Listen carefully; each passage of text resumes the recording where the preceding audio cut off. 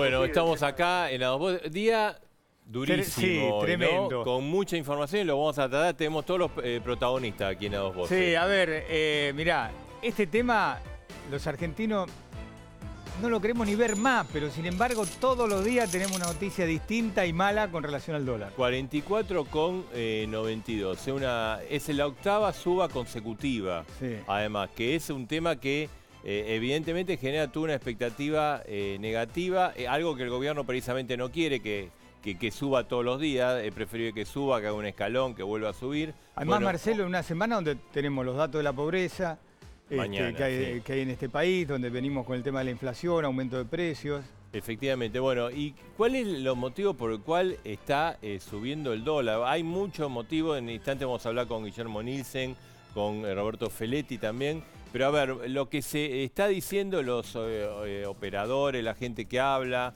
uno de los temas es el efecto este, internacional, está clarísimo. Hoy devaluaron todas las monedas, fue lo, lo primero que, que impactó ahora. Pero la- yo te quiero hacer una pregunta de esto, Marcelo, porque es el efecto internacional, pero nosotros estamos peor que Brasil, que Turquía. Sí, sí, no, por- claro, eso te quería decir. Eh, Argentina está devaluando más que el resto. Por ejemplo, hoy ajustó 12,6 más o menos la moneda.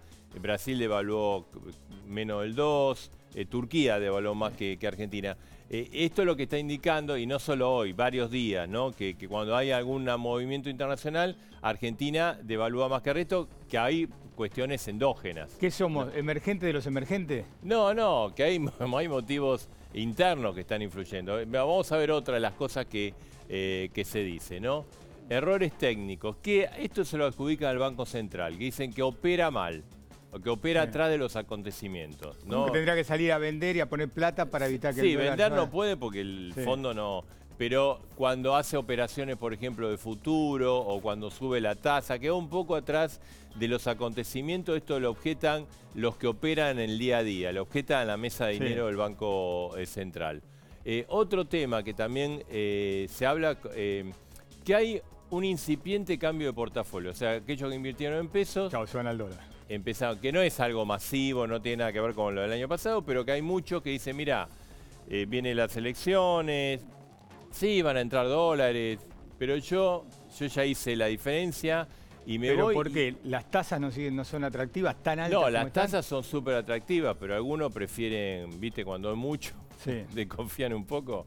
Bueno, hay un, un cambio pequeño de portafolio. No es nada, no tiene nada que ver con lo del año pasado, pero evidentemente hay una mayor demanda de dólares por eso. Cambio de portavoz es lo que señalabas vos, ¿no? De irte de, De la inversión en peso a inversión dólar. a dólar, en lo que sea la inversión en peso. cualquiera. Exactamente, sí. Eh, otro de los motivos que hablan, bueno, a ver, la crisis económica vive la Argentina, porque digamos, esto sea un contexto, no es que, que, eh, este, tenemos inflación más alta de lo previsto. Eh, el Fondo Monetario preveía para esta época 2% Sí. de inflación. Estamos en el orden del 4, Y las 3,8. Para marzo, inclusive. Para ¿no? marzo, mira, se hablaba de una eh, tipo 3,8 parecido a febrero, eh, pero eh, ahora con todo esto que ha pasado en los últimos días, algunos hablan que podría llegar a 4, superar 4. Y además, bueno, la recesión. O sea, Sí. se dan dos combinaciones que evidentemente es un marco complicado para, para todas las variables, ¿no? Y eh, otro factor, digamos, nosotros pusimos encuesta electoral, la incertidumbre electoral. La falta de definición para quién va. El si propio Macri, viste exacto. que cuando habla dice, bueno, cuando se despejemos se, se ratifique el rumbo. Pero como eso va a ser en las elecciones recién. Claro, como diciendo cuando gane, Sí. ¿no? Este, pero hoy lo que es cierto, que las encuestas, si bien eh, todavía no hay candidato de la oposición, pues, digamos, Cristina todavía no, ni la baña, Sí. ¿no? Eh, y el único candidato es Macri. Vos ves las encuestas y está muy parejo Macri con, con Cristina. Y porque las encuestas ya te lo toman a, te la toman a Cristina Sí, como y te lo toman a la baña como eventual O sea, candidato del peronismo Acá federal. se está dando esto, que el gobierno eligió la estrategia electoral de confrontar con Cristina porque dice en un balotaje gano al final de la historia y esa eh, estrategia electoral de política en materia económica se le vuelve en contra, ¿no? Así que esto también está, está jugando mucho y si vos ves informes de si vos informes de, de, de banco, inversión, este tema está siempre latente. La mayoría de los bancos dicen, bueno, al final la historia gana Macri, pero en el, Sí. mientras tanto está toda esta historia. Pero no solo nos vamos a ocupar de la cuestión económica, Marcelo, ¿por qué? Porque el tema de inseguridad, a ver, vos viste lo que es este país, cómo cambia, ¿no? En general siempre estuvo inseguridad al frente de las preocupaciones de la gente, ahora está la parte económica, pero ah, con la reaparición de los motochorros, con mucha violencia, se volvió a instalar el tema de inseguridad, por lo tanto está Patricia Bullrich, la ministra, para hablar esta noche con nosotros. Y bueno, y todo el tema de lo que pasó en Dolores, ¿no? Y esta rebeldía declarada sobre... El fiscal rebelde, eh, Tornelli. y, todo lo que está ahí atrás de esto, porque atrás de esto está todo el tema de los eh, servicios, de toda esa enjambre que convivimos en democracia hace bastante tiempo. El misterioso señor D'Alessio. Y está también, Edgar, el tema de los cuadernos, ¿no? O sea, ¿qué pasa con esta decisión eh, del juez eh, Padilla. ¿Va a afectar la causa de los cuadernos o no? Porque, digamos, el principal fiscal es el que está complicado, ¿no? Y bueno, está, a ver, Eduardo Valdés, está Julio Contegrán, está Andrés Gil Domingo, vamos a hablar con ellos también de todo este tema. Bueno, muchas cosas para un programa cargado como el de dos voces esta noche. Bueno, dale. Y mira, vamos a preguntarle a Guillermo Nielsen. Nielsen, ¿qué pasa con el donado? Preocupado porque el gobierno dice... Ah. Bueno, quédense tranquilo que en abril... La, primera precisión que me gustaría aportar en este listado tan exhaustivo que han hecho es una relación entre causas y consecuencias. ¿Cuál es la causa de que estemos hablando del dólar, discutiendo del dólar, tengamos tanto problema con el dólar? Es muy sencillo, señores. Es la crisis de deuda que está viviendo la Argentina desde el año pasado. Acá hubo un sobreendeudamiento, una actitud muy frívola en los dos primeros años de gobierno, se aumentó exageradamente el nivel de deuda, entonces esta cuestión del dólar, de que sube, que no sube, eh, más allá de las cuestiones de manejo que no diría que son del Banco Central, sino directamente del Ejecutivo, del Poder Ejecutivo. Acá hay una crisis de confianza desde hace muchos meses, que se ha agudizado. Y el presidente, evidentemente, si bien no lo dice explícitamente, no es partidario de usar los ministros como fusibles, que es lo lógico y lo que en cualquier crisis económica, en cualquier democracia occidental se hace. ¿Qué pasa? Que con las crisis económicas que hay usted tiene que cambiar el fusible a cada rato. Bueno, en este caso aguantó muchísimo el fusible porque aguantó, por ejemplo, la conferencia del Día de los Inocentes del año pasado, que fue un bochorno, donde se tendrían que haber ido todos en ese momento. Eh, o sea, no es que eh, hay, una, hay un resistir con el fusible, pero cuidado, cuando se va tan a fondo y no se cambia el fusible, salta totalmente la instalación. O sea, en esto hay que ser muy cuidadoso, no, no, es, no es casualidad que los ministros tengan también ese rol. Acá se está fallando en no generar un espacio de confianza como para llegar tranquilos a las elecciones. Acá no hay espacio de confianza. Ahora, Guillermo, em, los dólares del campo más los dólares del fondo, ah, ¿no alcanza, digamos, para tranquilizar el dólar? Depende del humor del mercado. Yo les garantizo que si las cosas, si hay confianza, si la gente ve claridad, si la gente está tranquila, alcanzan y sobran. Ahora, si hay dudas, no alcanzan. Y 60 millones de dólares por día, que son, vamos a ser generosos, el 10% del mercado, que no entiendo por qué se hizo ese anuncio todavía, pero bueno. Eh, son cosas del fondo, parece. Sí, indudablemente es del fondo, del fondo y de la contraparte local que no le marca la cancha, no, le, no les hace entender cómo funciona la economía argentina. Ahora, ¿qué llama el mercado usted? Porque uno dice mercado. No, hay, no es tanta plata. Y la plata del campo es del campo, señores. Es del campo y es de las cerealeras. Y no hay ninguna razón para pensar que los productores agropecuarios van a comportarse en forma distinta que los productores urbanos que están todos comprando dólares. O sea, es, insisto, un problema de confianza. Un problema de confianza no se soluciona con altas tasas de interés. Un problema de confianza no se soluciona con 60 millones de dólares del fondo. En esto hay que ser muy claro. Y Feletti, el, presidente dice que hay que, insistir en esto. Digamos, que, que hay que perseverar. Hoy pidió aguante, que hay que tener aguante. La historia no lo ayuda en esa afirmación. Es decir, nunca un ajuste sobre el mercado interno, sobre la economía interna, cerró la brecha del sector externo. Siempre terminó en crisis. Es decir, nosotros estamos viviendo lo que se llamó plan doble cero, o sea, déficit fiscal cero, emisión monetaria cero, ajuste monetario y fiscal, sobre la actividad económica interna y estamos viendo los números que da eso. Ahora, eso no le alcanza al presidente para impedir la sobredemanda de dólares. Eh, eh, nunca pasó, cualquier plan que uno revise en el pasado, un plan de ajuste monetario y fiscal duro contra la actividad interna, nunca cierra la brecha externa, al contrario, genera más tensiones. Hay dos cuestiones. Una puedo compartir con Nielsen el, tema de la credibilidad, pero hay otro tema que es estructural. Argentina, y ustedes lo señalaban, por qué Brasil o México entra en esta crisis con un desequilibrio externo de su cuenta corriente, los dólares que entran y salen habitualmente por exportaciones, por pagos de intereses de deuda, muy bien, que es tres veces el de México, o sea, 5,7 de, eh, puntos del PBI tiene déficit externo la Argentina contra 1,8 de México, y contra menos 0,8 eh, tiene Brasil. Entonces es lógico que ellos frente a una volatilidad en el mercado internacional están más enteros. pero le voy a decir... Hay un eh, tema El gobierno dice, no, pero no dejaron el gobierno de Cristina. Bueno, sí, la herencia recibida. una bomba que eh, la estamos todavía pagando ahora. Sí, ahora ningún gobierno pudo endeudarse, y lo señalaba Nielsen, en la magnitud que se endeudó este gobierno. Digo, el gobierno tuvo la herramienta en sus manos como para corregir esos desequilibrios. si quieren discutimos sobre, sobre los 12 años previos, pero la realidad... ¿Pero usted dice que ya no es herencia lo que está pasando? Y me parece que no, porque me parece que, a ver, nosotros dejamos 2,4 de déficit de cuenta corriente del PIB, ahora está 5,7.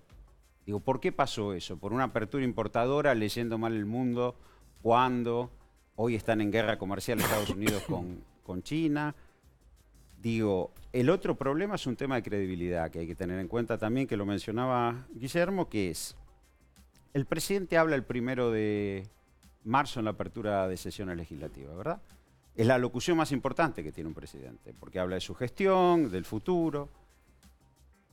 El lunes siguiente, eso fue un viernes, con los mercados cerrados en Argentina por los feriados de carnaval, en Nueva York comenzaron a vender los papeles argentinos. Y a partir de ahí se desencadena una serie de, de corrida que obliga a Duhovne a ir al fondo a pedir los 9.600 millones de dólares que se los dejen vender. Digo, hay un tema de credibilidad además sobre las palabras del presidente. Le, dejo pendiente una pregunta, ahora enseguida vamos a seguir, ¿no? Eh, está implícito en el tema de las encuestas, que muchos dicen, no, lo que pasa es que como Cristina puede ganar, Se mejor vayamos al dólar. Pero me, me, lo responde un ratito, vamos a hablar con la ministra, ahora seguimos, ¿eh?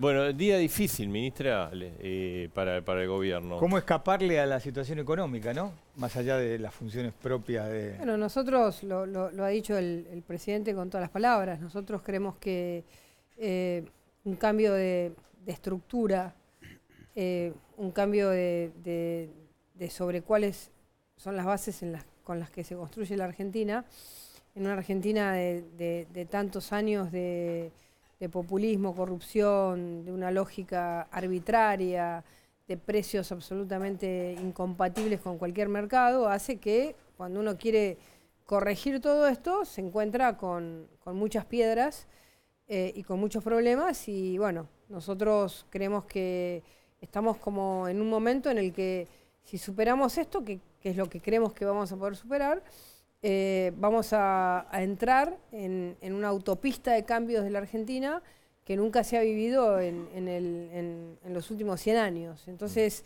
eh, esa confianza que nosotros creemos que la gente tiene que tener eh, respecto a que lo que se está cambiando es para siempre, es lo que nuestro gobierno va a transmitir en esta, en esta idea de país que que confronta con una idea de país eh, corporativa, corrupta, mafiosa, y ahí es donde nosotros nos vamos a parar.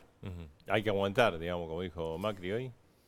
Bueno, porque em, cada vez que la Argentina quiso ser transparente, quiso ser abierta, quiso tener libertad, eh, se encontró con, muchos escollos y desde muchísimos años que ningún gobierno que quiso tener una mirada distinta de la Argentina eh, como los países que han logrado crecer eh, y, no vivir en la pobreza, en la miseria, en la, pérdida de la calidad educativa, eh, y en la pérdida de la calidad social del país, lo ha logrado. Entonces nosotros estamos ahí, estamos más de la mitad del, del río cruzado. Bueno, ahora la gente tiene que confiar que si ahora no lo cruzamos, vamos a volver para atrás muchos años, va a volver eh, esta desconfianza que se está generando, que también tiene que ver con qué puede venir de nuevo a la Argentina. Bueno, un poco con esta idea de, una Venezuela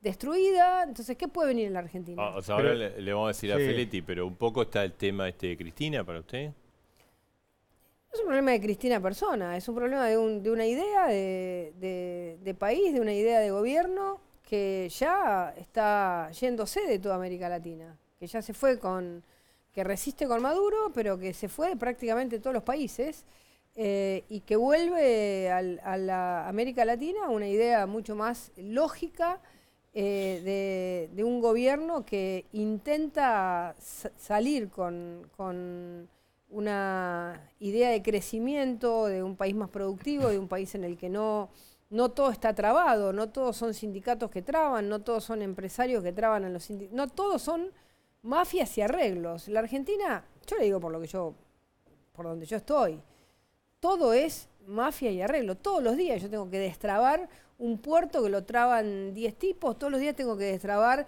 una, eh, digamos, una empresa de, que, que la traban, sí, todos los días. La Argentina se, convierte en un país inviable desde toda perspectiva si no logramos que cada uno pueda trabajar con libertad y hacer las cosas bien. Lo que pasa es que el tema de la desconfianza también lo salpica Macri, porque está bien, hay mucha gente que no quiere que vuelva Cristina, pero hay gente que dice, ¿y Macri podrá sacarnos adelante? Pero es que, a ver, nosotros estamos tirando de un, de un carro que hace 80 años que hay, hay quienes no quieren que este carro salga y cada vez tienen intereses más concentrados y cada vez son más las, las, eh, los privilegios que acumulan. Digamos, cuando uno empieza a entrar en los privilegios de la Argentina, los privilegios de los sindicatos de los docentes, los privilegios de los camioneros, los privilegios de las empresas que trabajan con los camioneros, los privilegios de los que eh, manejan un barco, toda la flota, toda la flota de barcos argentinos hoy es de Paraguay. Hoy la Argentina no tiene un barco, se fueron todos a Paraguay, porque en la Argentina, trabajar en la Argentina era 200% más caro. Todo esto que se destruyó, el gas que se destruyó, el petróleo que se destruyó, la flota que se destruyó, todo esto es por, por un país que tiene como así como capas de privilegios, capas, todas capas de privilegios. Y si nosotros no desarmamos eso, eh, la Argentina termina en lo que es Venezuela, que son los privilegios de una nomenclatura, de, una clase política que convirtió el país en un país para unos pocos y ahora ni siquiera los propios lo quieren. Entonces, la, desestructuración de estas capas de privilegio chocan todo el tiempo, chocan, eh, yo lo veo todos los días, todos los días eh, lo veo. Todos los días me tengo que pelear con alguien que tiene un privilegio en un lugar y que si uno no le desarma eso, el tipo sigue viviendo ahí y mientras tanto la gente no tiene más trabajo. Entonces, esa, esa Argentina de los privilegios que, que, no se desarmó en los últimos 12 años, al contrario, se rearmó en muchos casos, se rearmó con todas excepciones, excepciones y excepciones. Eso es lo que nosotros queremos desarmar.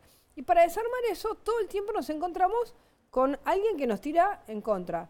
Bueno, la, vamos a pelear a fondo. Y, esto no es un tema de discutir el dólar de hoy o de mañana. La Argentina muchas veces ha tenido dólar alto, dólar bajo. Nosotros estamos discutiendo otra cosa. Estamos discutiendo una estructura de una Argentina basada en mafias y en privilegios que hay que desarmar. Y el que quiera mañana tener un futuro para sus hijos, tiene que dejar de ponerle fichas a una Argentina en la que cada vez viven menos bien y más mal porque eh, la Argentina se la llevan pocos, Marcelo. Eh, yo, yo le juro que lo que he descubierto en el Ministerio de, Seguridad no lo puedo creer. Todos los días me tengo que pelear con alguien que tiene un kiosquito armado en algún lado. Entonces, esto es lo que tenemos que desarmar. En todo, ¿eh? en la justicia, en, la fuerza de seguridad, en las empresas, en los sindicatos, en todo. alguien tiene un kiosco y ese, ese kiosco hace inviable el país. Y Patricia, y, pero usted piensa que atrás de, esta corrida del dólar puede haber también esas mafias o sectores que, por ejemplo, quieren que se complique la, la investigación de los cuadernos y... Yo, yo no, no, no puedo explicar la, corrida del dólar, eh, digamos, eh, en detalle técnico porque estaría haciendo algo que no lo conozco a fondo. Lo que sí puedo decir es que si usted tiene un país que el transporte es más caro, que mm, la obra pública es siete veces más cara, o era, eh, que mm, ir del puerto de, Santiago del Estero al puerto de Buenos Aires es cinco veces más caro que viajar del puerto de, Buenos Aires, de viajar del puerto de Montevideo a Ámsterdam o a Hamburgo, a donde quiera.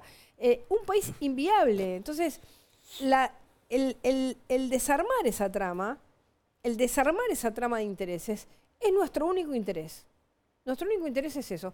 Y eso nos ha, chocado contra tantos intereses todo el tiempo que yo no puedo no pensar que hay quienes no quieren que a la Argentina eh, le vaya bien en el sentido de poder crecer, de tener una clase media cada vez más potente, de sacar a la gente de la pobreza. Eh, no puedo creer que no haya intereses atrás de eso. Lo creo, lo creo fervientemente porque veo todos los días las mafias que gobiernan nuestro país. ¿Y en los rebrotes de inseguridad qué ve detrás de eso? Hablo de motochorros, de, bandas que operan y que pueden No hay un rebrote de inseguridad. Eh, hoy la Argentina tiene números mucho mejores en inseguridad los que tenía cuando gobernaba el gobierno anterior. Hemos bajado el 22% los homicidios, el 8% los, los delitos eh, de índole, digamos, de robos, hurtos. Hemos eh, aumentado el decomiso de drogas, hemos aumentado la cantidad de narcotraficantes presos, hemos desarmado las bandas de narcotraficantes en todo el país. Así que eh, en ese sentido... Eh, por ahí la gente común lo puede juzgar más por el tema, juzgar más por el tema motochorros, algo que le afecta a la vida diaria, claro, la que le pasa a uno, digamos, la estadística le importa poco. Por supuesto que, bueno, digamos, nosotros cuando llegamos no teníamos una sola estadística. Tuvimos que reconstruir las estadísticas del gobierno anterior, 2014-2015. Por suerte hay algunas que son estadísticas duras que uno puede reconstruir, duras en todo el sentido de la palabra, como son los homicidios. Eh, y, pero hoy estamos, estamos dándole, a ver, pero ahí cambiamos la filosofía en serio. Nosotros no somos más zafaronistas, no estamos más a favor del delincuente, estamos a favor de la víctima, de la sociedad, hemos cambiado. Hemos cambiado y, eso hoy la gente lo reconoce. Y, y, toda la legislación que hemos mandado, ahora mandamos el Código Penal, que le pedimos que lo voten, la legislación penal juvenil, Estamos cambiando toda la normativa para que la Argentina sea un país donde eh, haya menos víctimas, menos delincuentes y más tranquilidad. Y para esto hemos hecho un cambio eh, copernicano. Y, ¿Se podrá cambiar la puerta giratoria? Bueno, eh, la ley de flagrancia, más algo que le vamos a plantear al Congreso esta semana, que ya se le hemos planteado, vamos a cambiar el sistema de escarcelaciones que tiene el país le vamos a pedir al, Congreso de la Nación que en la comisión que pone en marcha el nuevo Código Procesal Penal ponga ya los cambios de las escarcelaciones. Para que no se escarcele, a ver, porque nuestro Código Penal hablaba de un delito distinto del de hoy, ¿no? Había delitos de sangre, violentos, pero no como los que tenemos hoy. Hoy un motochorro puede ser una persona que le roba un celular o un motochorro puede ser alguien que le meta un tiro en el medio de la, cabeza. Entonces, uno que tiene que ir al, tipo de violencia que tiene el delito. Entonces, eh, en ese sentido, nosotros hemos planteado que el Código Penal eh, tenga un agravante por aquellos delitos que tienen una violencia inusitada, para que haya consecuencias haya una relación entre lo que la persona hace y la consecuencia del hecho que realizó. Así que estamos a fondo, vamos con todas las leyes para que el Congreso las vote, nuevo Código Penal, nueva Ley Penal Juvenil, barras, barra brava, que ahora nos están discutiendo si votaron o no la ley de barra brava. A ver, eh, hay que votar contra las barras bravas. Hay que impedir que, las barras bravas tengan 300 entradas como tuvieron en el partido River Boca. Y no hay que ir al, detalle, hay que ir a lo grueso. Si después algún detalle eh, se puede discutir, nos, sentamos de nuevo y lo analizamos. Pero lo que tenemos que hacer es erradicarlas, eso está claro. Es decir, si hay alguien que no, no está de acuerdo con eso, es porque está al lado de la barra brava. A mí no me queda duda en esa discusión. Digamos, bueno, usted me, me maneja el Ministerio de Seguridad, mucha fuerza de seguridad. ¿Los servicios de inteligencia son un desastre? ¿Nos espían a nosotros en vez de...? o sea, le digo, eh, bueno, Carrió dijo que, que disolver la AFI. ¿no? Y, después está todo el tema este de Stornell y toda esta aparición de Yo pienso que un, país, un país que quiere ser un país insertado en el mundo y serio, tiene que tener inteligencia. Eh, la inteligencia tiene que ser profesional. Nosotros hemos profesionalizado nuestra, nuestro eh, sistema de inteligencia en la inteligencia criminal que manejamos desde la Dirección Nacional de Inteligencia Criminal y nos dedicamos, y lo hacemos bastante bien, a investigar todas las bandas de narcotraficantes, de, tratantes de personas, de secuestros. Hemos bajado un 80% de los secuestros. Entonces, eh, hemos tenido resultados. Ahora, si hay personas que, digamos, eh, dicen eh, utilizar ciertos recursos de poder y, y, hacen una inteligencia en paralelo, que vayan presos. D'Alessio si usó el nombre de quien usó para decir que eh, era de la DEA o de la CIA o de la KGB o de, qué? ¿Era de algo? Bueno, todos los organismos que les han consultado han dicho que no. Ahora, si yo la, vez que, me preguntó un juez por él, que me preguntó el juez Villena por él, le dije, no solamente es una persona que no trabaja en el Ministerio de Seguridad, hace un año y medio me, me preguntaron por él, sino que además es una persona que está loca, loca, totalmente demente. A mí en un día, en una reunión en el Ministerio de Seguridad, presentándose como un gran experto eh, en seguridad, me dijo, y ahí nos dimos cuenta con el subsecretario de, narcotráfico, que era una persona totalmente fuera de sí, me dijo, la Argentina es el principal exportador de cocaína del mundo. Yo digo, pero escúcheme, doctor, yo pensé que era doctor usted no me puede decir que la Argentina es el principal exportador de cocaína del mundo. En todo caso, uno puede decir, la Argentina tenía un ducto de cocaína, había un problema, pero tenemos otros países, ¿no? Es decir, que, tienen una relación con la cocaína distinta a la de... Ese día yo dije, este señor no, no puede, digamos... Pero es un señor que, bueno, no sé cómo llegó a hablar con usted. Llegó a hablar conmigo porque en el 2016, cuando nosotros estábamos armando los equipos, una persona relacionada a él me dijo, este es un experto en narcotráfico. Yo lo recibí con el eh, subsecretario de narcotráfico e inmediatamente dijimos, esta persona no va a trabajar en este ministerio porque no es seria y porque del tema no conoce y además porque nos pareció que no estaba en sus cabales. Esa fue la conclusión que sacamos nosotros en el 2016. porque lo que puede llegar a, preocupar es cuando, volviendo al tema de Marcelo, una cosa es espionaje fuera de las estructuras del Estado y otra cosa es cuando el, espionaje puede partir dentro de las estructuras Bueno, por supuesto, digamos, a ver, los espionajes dentro de las estructuras del Estado son absolutamente, eh, digamos, ilegales y cuestionables. Y nosotros tenemos que todos combatir eso. Digamos, si hay una persona que dice ser de la DEA, que dice ser de la CIA, que dice ser de la KGB, y anda por el mundo y alguien le da bola, bueno, la verdad es que nosotros, eh, digamos, como, como, ¿cómo nos podemos proteger de tipos así? Ahora, y el tema es... decir, nosotros para eso nos hemos protegido. Fíjese lo que hicimos, que nunca se había hecho en la Argentina. Nosotros cuando mandamos la ley de técnicas especiales de investigación en la Argentina, hicimos el registro de informantes. Hoy, todo informante que informa a una fuerza de seguridad tiene que anotarse con un código de barras, porque digamos no se puede dar a conocer el nombre así nomás, y es una figura que se legalizó con el voto unánime del Congreso de la Nación. Es decir, que hoy un informante en el Ministerio de Seguridad tiene un registro eh, que antes el informante siempre fue una figura oscura, oscura. Nosotros la legalizamos, fuimos nosotros los que mandamos esa ley al Congreso.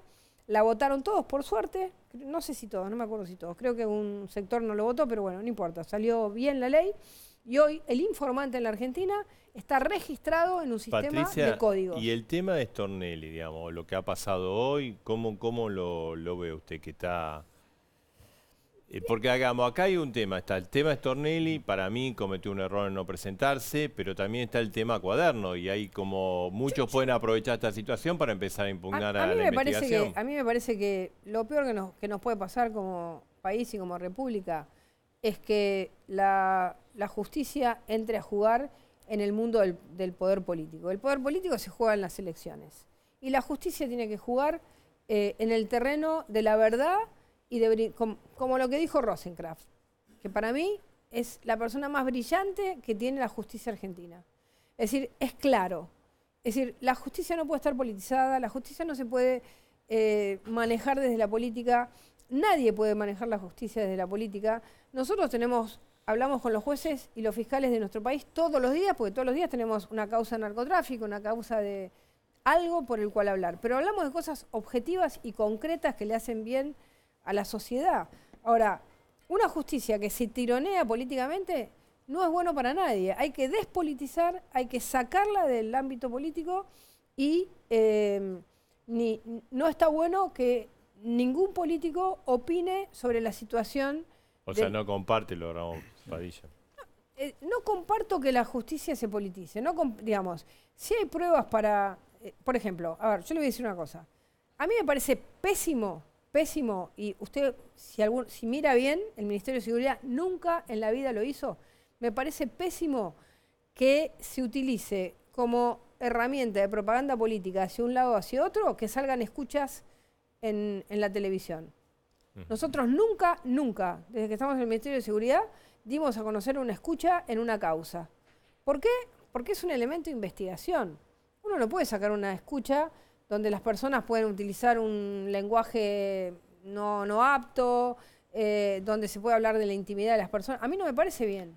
Pero Cristina dice que el gobierno distribuye eh, las escuchas, bueno, todas esas famosas. nosotros, nosotros somos el Ministerio de Seguridad y nunca en la vida, en ninguna investigación del Ministerio de Seguridad, se dio a conocer una escucha. Primero porque hay, y hemos presentado en el Congreso de la Nación una ley para que haya una trazabilidad de las escuchas. Cada escucha tiene que tener un nomenclador especial.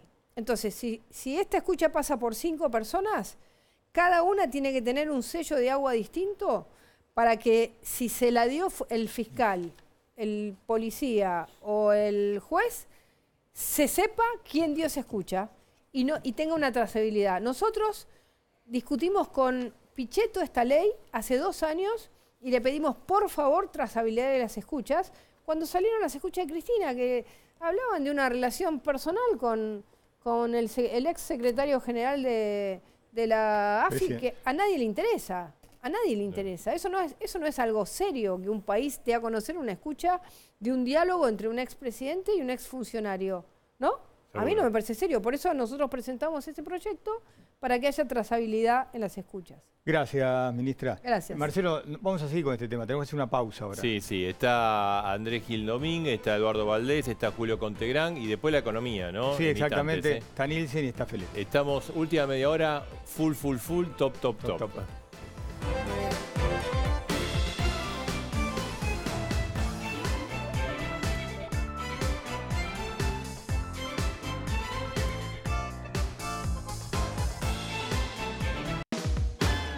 Prometido Marcelo, volvemos sobre el tema, te el tema Tornelli. que es así, todo en una hora tenemos que hacer todo muy rápido. Ahora vamos a hablar con Contegrán, ¿no? Pero... Queremos preguntarle a Eduardo Valdés, porque la oposición sobre el caso Stornelli es muy crítica. ¿Ustedes lo quieren a Stornelli fuera de la causa de los cuadernos? No, nosotros lo queremos a Stornelli que se presente que en la justicia de Dolores donde corresponde.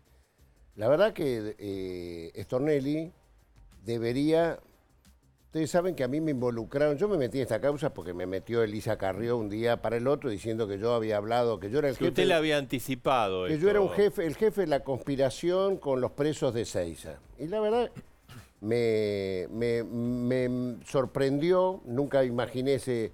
Y lo único que hice fue entregar el celular al fiscal que inmediatamente me tocó. ¿Qué es lo que yo le pido a Stornelli que haga? Que tendría que haber hecho, es lo que le pido a Daniel Santoro para mostrar su honorabilidad, los que están involucrados. En este, la doctora Carrió, mañana voy a Dolores y voy a pedir que Paula Oliveto presente sus celulares ahí, porque la verdad es muy simple. El que es inocente muestra el celular y ve si tiene relación con D'Alessio, si estuvo en alguna conspiración, este, si eh, ya hoy lo de Stornelli, digo, es muy grave. Ya son nueve imputaciones que el juez le hace Hoy salió una que es medio hasta cachivache, ¿no? Que este, usó a D'Alessio para eh, seguir al novio de su al- a la expareja de su mujer, ¿no? Parece que la mujer se dedica a vender, según hay un sitio de Facebook, ¿no? Vende cosas importadas, este hombre que maneja aviones traería. Bueno, Pero, es eh, una cachivachada lo que... Está eh, bien, Valdés, pero ustedes quieren usar esta situación para empantanar la- el tema de los, cuader- de los cuadernos. Pero si fuera así, Marcelo, si fuera eh, que uno planteara así, yo tendría que haber imaginado que el 28 de diciembre, el día que eh, D'Alessio le irrumpe a Echeves para, para extorsionarlo, yo tendría, si esto, tenía- si es así, yo tendría que haberlo convencido a Stornelli que le diga a D'Alessio que vaya a extorsionarlo a Echeves para que entonces Echeves lo grabe. No, no es así. Acá se cometió, acá salió a la luz, mira, algo que un gran periodista que no piensa como yo, Pablo Duga me dijo, han pateado el hormiguero más importante del PUS del sistema judicial político. Eso es D'Alessio. Ustedes preguntaban antes a Patricia Burri quién es D'Alessio. Bueno, D'Alessio es un hombre demasiado importante, tan importante que tenía seis días antes el fallo de la Cámara sobre eh, la causa cuaderno. Tan importante que este, accede al despacho del fiscal mientras el fiscal está tomando declaraciones tan importante que puede andar por las calles de Buenos Aires con sirenas y todos le prestan auxilio. Según hoy vi en un video que le hace que firma un empresario Cifuentes arriba del auto de él con sirena en la Avenida Libertador. Tan importante que 18 notas de Clarín como, como columnista en seis meses. Escribió más que Van der Koy, como el gran experto, recién Patricia Burrich hablaba, el gran experto en narcotráfico y seguridad. Eh, Valdés, Entonces, chico, no es cualquiera y me parece que por y Stornelli está íntimamente vinculado a D'Alessio. Eh, Andrés Gil Domínguez, ¿usted cómo evalúa el, el camino que está siguiendo el fiscal Stornelli? Hoy fue declarado en rebeldía por el juez y el comportamiento del juez también.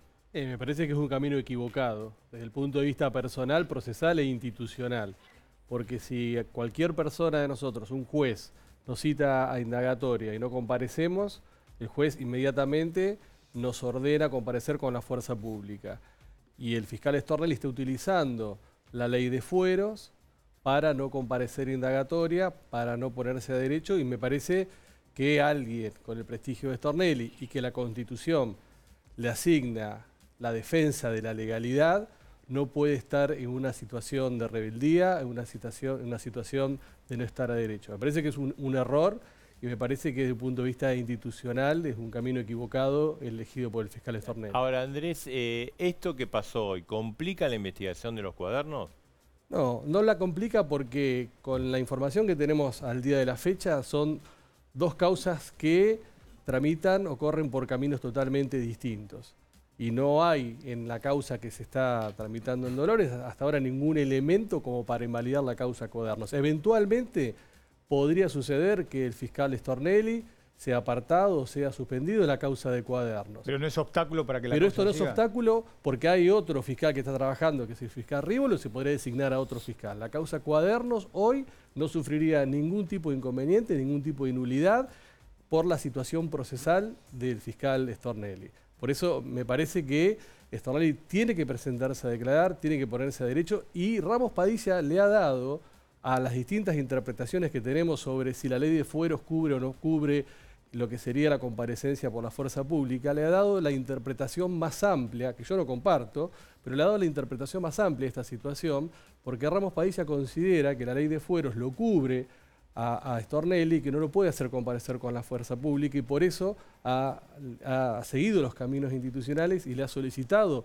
al Procurador General de la Nación que arbitre los medios que considere necesarios como para que el fiscal Stornelli comparezca y esté a derecho. Y Valdés, ¿usted piensa que se puede complicar la, digamos, eh, ahí dentro de, hay muchos funcionarios ante el gobierno, algunos están detenidos, hay empresarios. Lo que pasa es que hay empresarios que dijeron pagué las coimas, hay un contador de, de Néstor y Cristina que habla de los bolsos, de la plata, de dónde la depositó Muñoz. Mirá, esto es como lo que yo dije al principio. A mí me interesa mostrar mi honestidad y por lo tanto fui y puse mi celular. A mí me parece a, a que lo investiguen. A mí me parece que la causa cuaderno, todos quieren demostrar su inocencia. Los que están peleando su inocencia, que la demuestren. Ahora, lo que no está bien en la causa Cuadernos son esas prisiones preventivas, D'Alessio como iniciador de la causa Cuadernos. Y hoy todos dicen, se quieren sacar de encima a D'Alessio, ¿no? ¿Puede ser D'Alessio el que dé comienzo a la causa Cuaderno, a la causa de gas licuado? Hay un fiscal que está diciendo que el testigo de identidad reservada que comienza la causa Cuadernos sería D'Alessio. Yo no lo tengo comprobado. Lo dijo un fiscal que espero que ponga la cara y no que lo mande a decir por trascendido. Porque si no, yo voy a decir quién es el fiscal. Pero quiero decirles, creo que los que se sienten inocentes van a querer que la causa Cuaderno no los manche y deberían ir a fondo. Pero lo que no puede ser es que existan los D'Alessios que van a hacer eh, arrepentir a gente y a hacerle decir cosas que la gente jamás diría. Y no es verdad. Eh, doctor Contegrán, ¿cómo le va? Gracias por estar con Buenas nosotros. noches. ¿Puede ser el caso Stornelli provocar un efecto dominó si cae Stornelli? De la...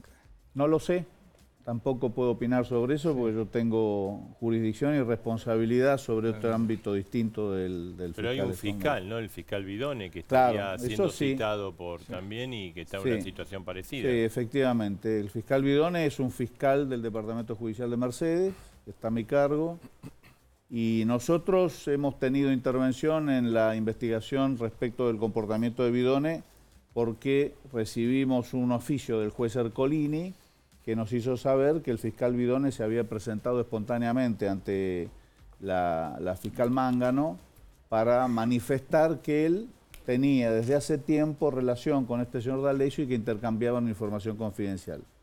Cuando recibimos este oficio del juez Ercolini, inmediatamente adoptamos dos medidas. Una, eh, cursar el oficio mediante copia certificada al fiscal general de San Martín, otra jurisdicción, otro departamento judicial diferente de Mercedes, que puso en marcha una investigación penal preparatoria, es decir, una causa penal. Allí se allanaron las oficinas y el domicilio de, de se tomaron otras medidas, lo apartamos a Bidone de la unidad de delitos complejos que él tenía a una unidad de delitos eh, particulares, simples, y además iniciamos el trámite disciplinario en la Secretaría de Control Disciplinario y Enjuiciamiento, que está cursando su trámite. Eh, pedí también a la Suprema Corte que dispusiera eh, lo que se denomina licencia forzosa, que es una suerte de suspensión del fiscal. La Corte de la provincia lo resolvió y está suspendido hoy el fiscal. Y la fiscal... es- digamos, sería que, que su acción fue distinta a lo que es eh, porque la circunstancia es nacional. distinta. ¿Yo con qué me encontré? Me encontré con un acta que nos envió la Justicia Federal, el juez Ercolín y la fiscal Mángano, un acta donde eh, este fiscal nuestro se había presentado y había reconocido este comportamiento. De manera que ante esa circunstancia no cabe ninguna duda que debía actuar como actué. ¿Y qué ve eh, usted y las detrás? circunstancias son Sí. distintas, ¿no? ¿Qué ve usted detrás de todo esto? Estamos investigando. Yo lo que particularmente ¿Está veo... preocupado usted? No, no, no estoy preocupado. Mire, yo llevo dos años y tres meses y en el medio de esto hemos, este, la, la, la ministra ha hecho referencia a las mafias. Yo no voy a pasar revista, sobre todo por respeto a la cantidad de gente que está detenida, que antes era muy poderosa en los distintos ámbitos de la provincia de Buenos Aires. Eh, me refiero a gremialistas, jueces, fiscales, juez de casación. Eh, no, no estoy preocupado. Yo sencillamente estamos trabajando y acá lo que se ha hecho de manera muy expeditiva es eh, investigar al fiscal, como lo hemos hecho en otros casos. Y con motivo de esta investigación penal, nosotros estamos evaluando el eventual inicio de un jury de enjuiciamiento para eh, lograr su cesantía o desplazamiento. No, le, le quería estar a Sergio Farela, que ayer estuvo todo el día en, en Dolores. Ya salí de acá y vas a Dolores, ¿no, Sergio? Sí, ¿Y qué- así qué, es, ¿Qué es lo que vos pensás que está, está pasando? ¿Cómo lo ves? Bueno, a ver, por un lado lo que se especula es hubo una avidez, se puede decir, de, eh, o, eh, la ambición de información por parte de estos fiscales que dicen haber tenido relación, obviamente está a, a la luz pública, tanto Stornelli como Bidone, que mañana tiene que presentarse como imputado en una de las causas en Comodoro Pi, o bien fueron parte de esta extorsión. Hasta ahora lo que dice uno de los jueces Ramos Padilla es que no, que tenían la anuencia de los fiscales justamente para hacer estas medidas de extorsión. Lo dice sobre Stornelli, que no se presentó hasta ahora, y también lo dice sobre Divione, que también está citado allá en Dolores para la próxima semana. Eh, eso es lo que todavía no se sabe. Vos ¿no? el, el miércoles pasado, cuando hicimos la bomba de a dos voces, dijiste que en, el- en tribunales eh, los colegas de Tornelli de, de alguna manera que lo que se separe o que pide licencia hasta que esto se aclare, ¿no? Este- ¿Esta posición sigue en tribunales? Sí, sí, sí, sí. Por lo bajo, mira, eh, sus propios colegas, eh, funcionarios de Comodoro Pi, eh, le reprochan por lo bajo que fue totalmente erróneo su conducta en esos mensajes que tuvo con D'Alessio. No lo dicen públicamente, pero te lo reconocen por lo bajo. Dicen que estuvo pésimo. No creen que eh, haya cobrado dinero o haya sido parte de la extorsión, pero dicen que al menos cómo se manejó en esa situación que fue pésimo y eh, algunos hasta dicen sí, debería tomarse licencia, sobre todo para no perjudicar la causa de los cuadernos. El propio Stornelli yo se lo consulté y dice no, no me voy a tomar licencia, no voy a dejar la causa, por ahora sigo y dice que tiene el apoyo de la Procuración. Eh, doctor, usted nos hablaba del combate que hicieron en la provincia de Buenos Aires con relación a estas mafias, pero otra vez el oscuro mundo de las relaciones entre los servicios de inteligencia, la justicia, la política, ¿no? Bueno, ese es- eso forma parte de las mafias, eh, sistema que hay que desarticular. Nosotros estamos ahora investigando y si en el curso de esta investigación aparece algún elemento vinculado a un seguimiento ilegal, a, una, a unas escuchas ilegales o cualquier tipo de procedimiento ajeno a la ley, tomaremos las medidas que haya que tomar, en tanto esto sea competencia de la provincia de Buenos Aires. Nosotros tenemos una competencia limitada en algunos tipos de delitos que son de naturaleza federal y investigaremos y lo enviaremos como corresponde. Eh, gracias. ¿eh? Gracias a ustedes, Gracias también, Valdés, y vamos a, vamos a continuar. ¿Puedo, puedo sí, a ver. Mi solidaridad con dos colegas, tres colegas de ustedes, Maximiliano Montenegro, Alejandro Fantino y Romina Mangel, que fueron eh, víctimas de espionaje de D'Alessio y de, y- y- y de alguien más, este, y que merece Bien. este, ser repudiado. Bueno, gracias. ¿eh?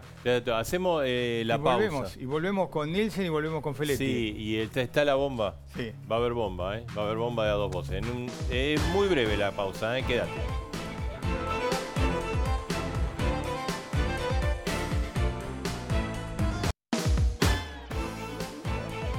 ¿Está vendiendo su empresa y necesita recuperar capital a través de sus activos? Piense solo en el especialista, Adrián Mercado. Adrián Mercado Subastas, energía humana al servicio del cliente. Hoy es momento de descubrir. San Juan celebra los vínculos. Venite a San Juan.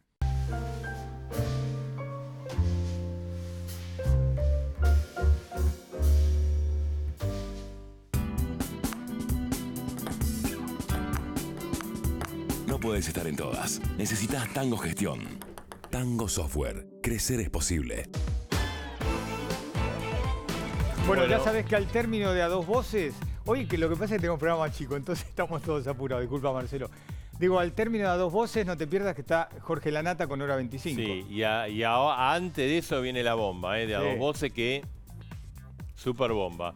Eh, seguimos con Feletti, con Nielsen, el dólar, la noticia del día. ¿no? Tenías una pregunta pendiente Sí, a Feletti. eh, Feletti, muchos dicen, el mercado y el propio gobierno ahora lo está diciendo, no, bueno, el dólar sube porque Cristina, como está bien en las encuestas, va a ser un gobierno inviable y entonces eh, compremos dólares ahora. Dos cosas. Primero, Cristina no confirmó todavía que va a ser candidata. Ahora, si existe una porción importante de la ciudadanía que estaría dispuesta a apoyar su candidatura, el presidente tiene dos problemas. Uno, no le cree en los mercados y dos, no, le cree una porción importante de la ciudadanía. Yo creo que, que el presidente tiene que recrear confianza y para eso tiene que gobernar. Digamos, el problema que tiene hoy el gobierno respecto de Cristina, o polarizar con Cristina, es que tiene más inflación que nosotros, tiene más deuda que nosotros, tiene más desempleo que nosotros y no ha resuelto nada, a pesar del apoyo internacional de los mercados, pero también del fondo, porque Argentina, la cuota que le hubiera tocado como socia del Fondo Monetario era de 23 mil millones de dólares y le han dado el- más del doble, 56 mil le han acordado, de los cuales ya han desembolsado 28 mil y, y inmediatamente piensa- digo, ha, ha recibido un apoyo importante y ha dicho cosas que no debía decir. Lo peor ya pasó, la inflación es fácil de resolver, eh, eh, las inversiones que van a llover, las inversiones, digo, estamos en un problema y el presidente tiene un problema, que es la credibilidad de los operadores económicos, recomponer la oferta privada de dólares, eso es lo que necesita el presidente. Y por el otro, digo, una elección, si él hace eso y, y estabiliza las variables, y probablemente esté en una mejor situación electoral, porque tampoco vulneremos la O sea, democracia. ¿usted piensa que lo que está pasando ahora tiene que ver con un tema de credibilidad sobre el propio Macri? Y sobre los desequilibrios que ellos mismos han construido. Yo señalaba antes, ellos entran a una crisis de los emergentes. Vamos a suponer que hay un factor externo importante, la crisis de los emergentes, cambio de dirección de los flujos internacionales. Ahora, Argentina entra con un desequilibrio externo que, como decía antes, es tres veces el de México y cinco veces el de Brasil. Entonces, eso es un problema nuestro, el haber abierto las importaciones, el haber permitido que las exportaciones se liquiden a 10 años. Son problemas nuestros. El ahora, un exportador, ¿a qué valor liquida? ¿A qué dólar? Tiene eh, un exportador, vamos a redondear dólar a 45, le- hay que descontarle 4 pesos más 25%. O sea, va a estar liquidando un dólar de 32. Va a liquidar lo que necesite para afrontar costos internos, pero liquida un dólar de 32. Y no sabe cuál es el horizonte. Entonces no le echemos la culpa a Cristina. Digo, acá hay, acá hay problemas serios que tienen que ver también con lo peor ya pasó, el discurso de- del jefe de gabinete que le echa la culpa a todo el mundo. Digo, no hay una sola autocrítica. Bueno, Nielsen, eh, ¿cómo se puede recobrar esa confianza? Un poco, yo ya lo, lo he señalado, o sea, acá el gobierno me parece que perdió la oportunidad y el momento. El momento hubiese sido dos meses atrás con un cambio de gabinete, refrescar el gabinete, convocar a gente que tiene credibilidad, que tiene experiencia, que tiene Por ejemplo, ¿quién, pergaminos. digamos? Bueno, yo lo dije no, no me salgo de ahí, pero digamos, Melconian. Y lo digo porque Melconian, ante todo, es un hombre de trayectoria dentro del PRO. Y es un consultor muy exitoso, es un tipo serio, sabe a dónde quiere ir. Entonces, yo sugerí eh, públicamente que podría haber un cambio y eso le iba a dar oxígeno al gobierno, como le da siempre oxígeno. Un cambio, un cambio del Ministerio de Economía, recrear el Ministerio de Economía, son cosas que ayudan a que haya una tregua con los mercados. Bueno, esto o se interpretó mal, o no se interpretó, o, o vaya uno a saber qué es lo que quieren hacer. Entonces hoy yo veo al gobierno realmente muy encajonado, muy encajonado. Hoy fue una jornada tremenda. Argentina es una hojita al viento en un temporal. O sea, hoy el problema se origina en la percepción que tiene el mercado internacional de que Turquía va a un default, que Turquía no puede enfrentar los vencimientos de corto plazo, las reservas del Banco Central turco no dan para enfrentar O sea que la tormenta sobre emergente y sobre Argentina sigue. Esto va a seguir, esto no es algo que se solucione. Y Argentina está muy mal parada en esta tormenta. Está muy mal parada con cantidad de cosas no arregladas. con- y además, y esto ustedes lo señalaron también, y, forma parte de las conversaciones, el sendero electoral. El sendero electoral eh, que tiene tiempos distintos de los tiempos de la economía. Una cosa son los tiempos electorales, que viéndolos hoy hacia octubre son muy lejanos, y los tiempos económicos que son los de la urgencia, lo, Sí, de, sí, el día a lo de día, que ¿no? aumenta el dólar y, y ya está tocando los 45. Entonces, ¿cómo se va a arreglar esto? Esa, es la gran incertidumbre y la gran angustia. Guillermo, gracias. Feletti, gracias. Gracias, eh. a los dos. Bueno, Marcelo. Tenemos que ir porque la bomba no perdona. Si no, no, no, se explota en la mano. Que no eh. nos explote acá. Bueno, ahí viene Marcelo.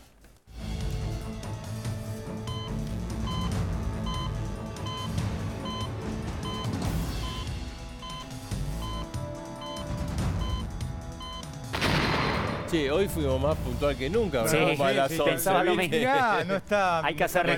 registro. Hay que hacer registro para María. Bien. No está Marina. A ver, eh, ¿cómo la íbamos a llamar la bomba? Eh, fuego cruzado. Fuego cruzado. Y el tema de los servicios. Sí. Sí. eh, porque, Otra a ver, vez, ¿no? María Eugenia Vidal dice, me espían. Sí. Elisa Carrió dice, eh, de- eh, arre- Está lleno de espías. No, no, eh, dice eh, que cambie- eh, destruyamos la AFI. Sí, quiere sacar la AFI. Y ahora eh, Arribas va, tiene que ir al Parlamento. Arriba de Magdalena, sí, van a ir al, al Congreso de la Nación, sí, para exponer sobre todo esto que está sucediendo ah, en torno a la figura de D'Alessio. De Alessio, exactamente, porque está la sospecha si es espía, si no lo es, si es de la DEA, no lo es, en fin, si es Es, inorgánico. es muy grave, eh, por lo que tengo, la denuncia de María Eugenia Vidal contra que la espían no solo, digamos, que ya es grave, ¿no? Que te espíen su acción política, sino su eh, cuestión personal. Yo digo, no volvamos a caer en esto. Yo recuerdo en la época de, de Cristina y de Néstor que había, los ministros te decían, no, no te puedo hablar ni por teléfono no, ni no. en un bar porque nos están espiando. El propio gobierno propio de ellos, ¿no? gobierno. No, no, realmente por eso te- hay un fuego cruzado muy, muy fuerte eh, y obviamente eh, con una situación eh, confinada abierto. Andás a ver lo que pasa el día eh, jueves con Arribas y Magdalani, ¿no? Exactamente. Eh, que ten- tienen que aclarar esta situación. Para mí ahí va a surgir muchas cosas, ojo, ¿no? Sí. No, no solo van a hablar de No, D'Alessio. una vez que empezás a abrir esos debates, Eh, se estar preparando Sí, Arribas, sí, ¿eh? así es. Eh, que es una persona clave dentro del gobierno de íntima confianza de Mauricio Macri. bueno, nos vamos. ¿No? Eh, nos vamos, ahora viene puntuales. la nata. Sí, ¿no? hora 25. ¿Y vos te vas a Dolores? Yo ahora me voy a los Dolores, ya, Ya te vas. Mirá tempranito que a estamos las 7 saliendo. empieza arriba argentino. ¿eh? Sí, sí, sí, hay que Te llegar. quedo ahí. Hay que llegar. Eh, no te quejes, que yo también voy. Sí, es verdad. eh. Dale. Bueno, eh, día clave mañana. en Dolores, Sí, ¿no? claro, claro. Vamos a estar ahí presentes. Va el abogado de Stornelli, pueden suceder cosas. Es algo que permanentemente va cambiando, así que mañana vamos a estar ahí al pie del cañón. Bueno, eh, nos vamos, Edgar. Dale, hora 25, Jorge Lanata, después de a dos voces, pero el cierre de siempre. Así es, nuestro compromiso con vos.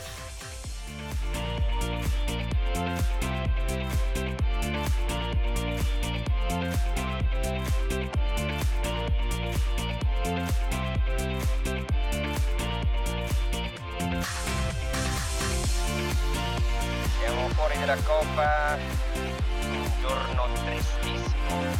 È finita ragazzi.